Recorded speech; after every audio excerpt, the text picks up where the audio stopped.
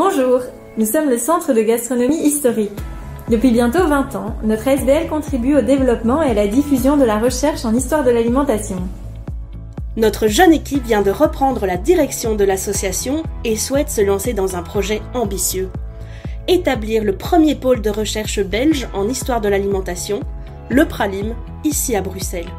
Le cœur de cette collection existe déjà c'est l'œuvre de Charles-Xavier Ménage et Nicolas No de la SBL La Rawette.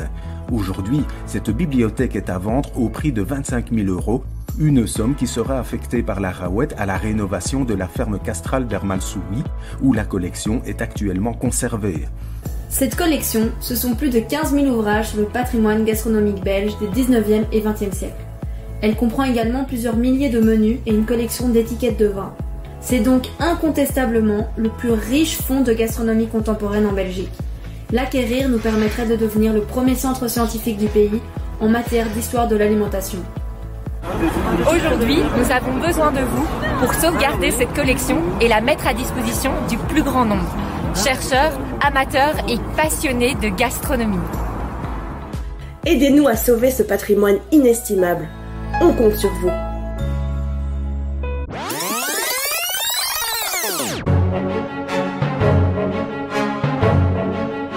Avec 15 000 euros, on atteint notre premier palier. Mais avec plus de 30 000, nous pouvons payer le déménagement, acheter la bibliothèque, ouvrir plus rapidement dans des conditions optimales, organiser une permanence et plus encore.